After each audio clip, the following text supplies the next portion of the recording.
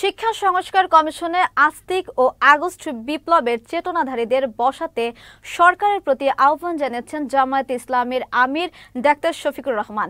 শনিবার বিকেলে Pabna Edward college মাঠে পাবনা জেলা জামায়াতে ইসলামীর আয়োজনে বৈষম্য বিরোধী ছাত্র আন্দোলনের শহীদ পরিবার সাথে সাক্ষাৎ শেষে আয়োজিত সমাবেশে কথা বলেন তিনি।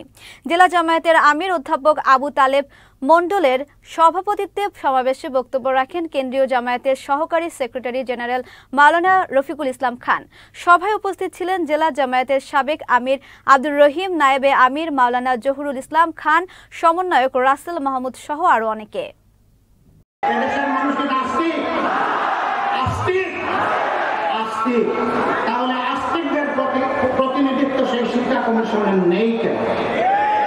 সেখানে সংখ্যাগরিষ্ঠ মানুষ, সাধারণ মানুষের কোনো চেতনাই বুঝতে পারে না। এদেরকে কেন এখানে দেওয়া হবে আমরা চাই তাদেরকে এখান থেকে সাফ করে দেওয়া হবে তারা ছিল ওখানে আমাদের আপত্তি নেই। তাদের তারা বিক্রি করতে থাকুক। তাদের কিনলে আমাদের কোনো আপত্তি নাই।